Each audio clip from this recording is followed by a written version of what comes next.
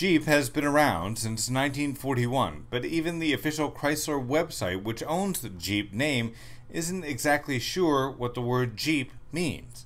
The company was called Willys Overland at the time the first model was created at the dawn of the Second World War. They're not sure if Jeep is just a way to pronounce GP, meaning general purpose, or if it was named after a popular cartoon character from the 1930s named Eugene the Jeep.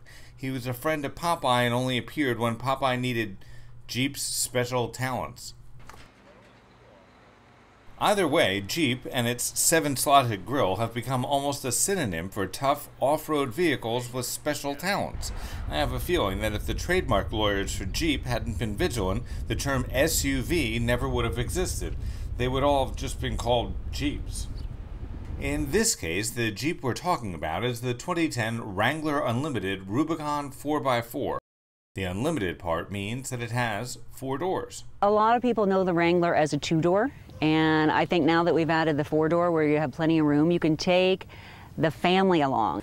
Lisa Barrow is a Northeast spokesperson for Chrysler and Jeep. These doors are really cool because these doors have the electric windows, the up and down, and yet you can unplug the uh, door as well as lift them out of the hinges and take them off. So when you're going off-roading, you can do it doors off. Windshield down, doors off, top off. I mean, truly outdoor feeling. While it may be simple to lift off the doors and fold down the windshield, taking off and putting on the winter top is another story. Luckily, you only have to do it in the spring and fall, and I mean you in the broadest sense. I went inside and took a nap while the photographer and PA in their 20s wrangled the hardtop off the Wrangler. Once the hardtop is stored wherever you can manage to store it, the soft top is, well, let's just say it is. You have to do some type of fan dance to open and close it. Here's a clip from the video that comes with the owner's manual. Now, finish unzipping the rear window completely from the passenger side. Make sure you store it where it won't get scratched or dirty. Not so tough so far, eh? Release the side bows by pressing down on the latch above the front of the rear door. Push the top rearward to disengage. Again, that extra pair of hands will help. Slide the side bows off of the door frame track and lower the top down into the back of the vehicle.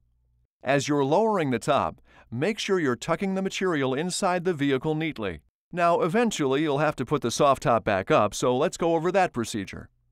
Still have that extra pair of hands? Good. First, undo the Sunrider strap securing the top.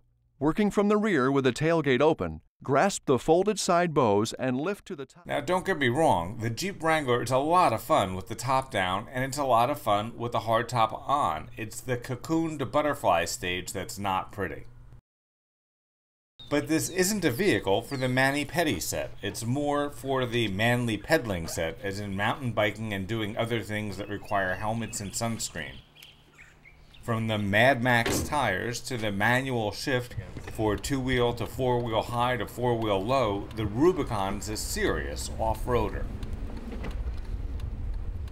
This is a place to put your BlackBerry, but this is also the type of vehicle that you want to drive until you're out of BlackBerry range.